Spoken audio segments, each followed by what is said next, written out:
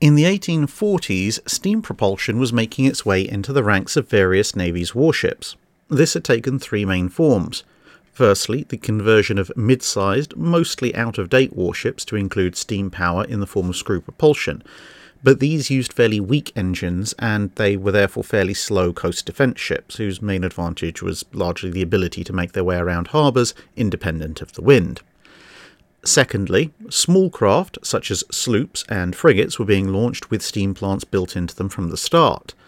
The smallest of these, harbour craft and non rated vessels, could have either paddle or screw propulsion, whilst the frigates used screws to keep their gun decks clear. The last form was the ship of the line, or line of battleship, or liner, or battleship, all four terms being applicable in this time period. In this, most navies were quite conservative. Early steam engines were very much an auxiliary. They were vulnerable to incoming fire, they were heavy, they took up space, and they were potentially dangerous if breached. Plus, there was now a fire on board. Not something that you necessarily wanted in an expensive ship of the line that, in time of war, could and probably would be subjected to an awful lot of incoming shot and, latterly, shell fire. Nonetheless, there was still a fair bit of discussion about converting existing vessels to include some form of steam engine, and maybe even risking a ship or two designed from the ground up to include them. Into this mix came the French designer Dupuy de Lôme, and a fortuitous coincidence in a rise of tensions between Britain and France. This allowed him to propose the construction of a slightly expensive but purpose built steam powered screw driven battleship, which would be named Prince de Joinville in honour of a noble who was one of the loudest voices calling for a larger and better French navy. Noble, as at this stage in the time France was going through the Bourbon Restoration period. The ship was designed as a two decker, but thanks to advances in construction during the 19th century, a two deck ship of the line could now carry 90 guns, which was previously the province of three deck second rates. The vessel was duly ordered in July 1847 and laid down in February 1848 almost immediately after which France decided to have another revolution, and when the French Second Republic popped up by the end of the year, the ship was renamed 24 Février. The ship was then launched in May 1850, and shortly after that, the president, Louis Napoleon Bonaparte, began consolidating power and making a series of moves that would eventually see the formation of the Second French Empire within a couple of years, and so the ship was renamed again to Napoleon. I mean, they put a Bonaparte in charge of a French Republic. What did they think was going to happen? Anyway, the ship commissioned in May 1852 just before the coronation of her land based counterpart, albeit mostly for PR purposes, the ship was ostensibly named after the original Napoleon.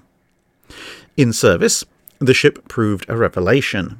Despite having only two full gun decks, her great length of 255 feet meant that she displaced about as much as an Océan class three decker or the more recent Valmy at just over 5,000 tons.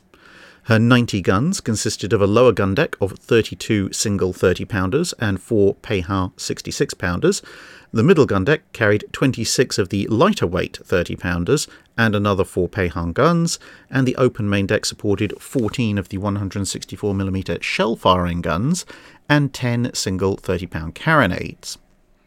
With an average speed of 12 knots and a top speed of almost 14, courtesy of a single 574 indicated horsepower engine that drove a single four bladed screw at a rate, courtesy of some basic gearing, of about 26 to 30 French revolutions per minute. Since the screw's four blades meant that it could not be hoisted out of the water, an arrangement was made to instead detach it from the shaft when the ship was cruising under sail. Fast, agile, and well armed, she was initially still ranked as a third rate, as there was a series of 100 gun ships sitting between her and the 130 gun Océans. But their conversion to steam power cost them 10 guns apiece, thus making them 90 gunners, and with Napoleon the better ship in all other aspects, and now with their armament about equal, she was soon promoted to being a second rate, or ship of the second rank in period French terminology. Her only vice was the engine and coal storage meant that she couldn't carry quite as many supplies as a sail only ship, and so she would cruise only in European waters for the most part. Having kick-started an Anglo-French naval arms race which saw numerous ships of the line built either with steam power or converted to it, Napoleon herself would have her engines and armament replaced during her service and would see action in the Crimean War, ironically alongside instead of against the Royal Navy, proving her power plant's usefulness as she was able to position herself in the best bombardment positions whenever she liked, whilst also playing tugboat to numerous sail only ships that were present, either getting them into or out of position, and at other times helping to haul them through the Dardanelles when the wind was contrary to Allied purposes. But, as revolutionary as she was, less than a decade after her launch, the arrival of Gloire and Warrior on either side of the channel saw her rendered second line. Although kept around as a useful reserve for a while, she would be eventually sent to the breakers in 1876. That's it for this video. Thanks for watching. If you have a comment or suggestion for a ship to review, let us know in the comments below. Don't forget to comment on the pinned post for dry dock questions.